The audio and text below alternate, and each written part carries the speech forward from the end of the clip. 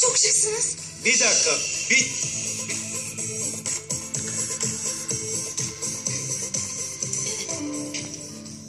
Mümkünü mümkün olduğu süre içinde yapamamışsınız.